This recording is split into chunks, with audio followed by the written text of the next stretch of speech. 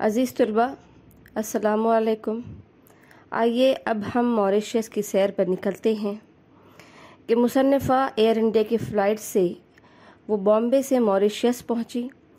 फिर वहाँ उन्हें एक बहुत बड़ी वैन में वो सारे लोग बैठकर हरे भरे दरख्तों से गुज़रते हुए, पुरसकून सड़कों से होते हुए और तरताज़ा होकर होटल में पहुँचे।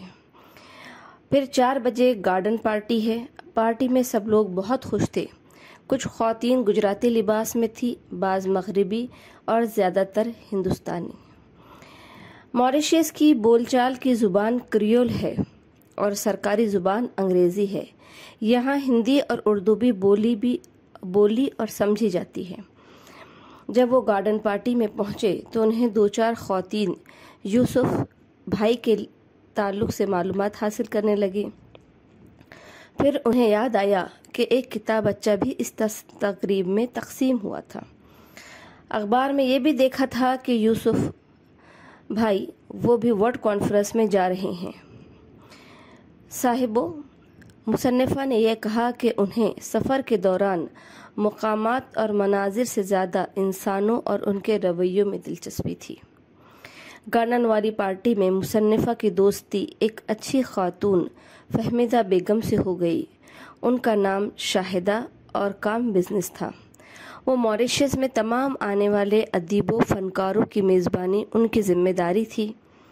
सात तारीख को लंच से पहले होटल में गवर्नर साहब और कमिश्नर साहब आने वाले थे और एक अहम मीटिंग थी। मुसन्फ़ा नाश्ते के बाद फहमीदा बेगम गुलजार नकवी और शाहिदा के साथ उस दिन बाज़ार में आ गए। उस शहर में जहाँ शाहिदा मुसन्फ़ा को ले गई, बहुत पोश इलाका था, मौसम खुशगवार था, सड़कें साफ़ सुथरी थी। लोग आ जा रहे थे, मगर भीड़ भड़क्का नहीं थी, धक्कम पेल नहीं थी। ट्रैफ़िक का शोर नहीं था। खूबसूरत और साफ़ सुथरे बंगले नुमा घर थे। एक बड़ी सी दुकान खुली थी, उसके आगे भी कुछ सामान रखा हुआ था। वहाँ एक अधेड़ उम्र के हजरात, जो कोट पतलून में मबलूस थे मुसन्फ़ा से पूछा कि आप उर्दू वर्ल्ड कॉन्फ्रेंस और इंडिया से आई हैं? मुसन्फ़ा के खुशी के मारे बुरा हाल हो गया।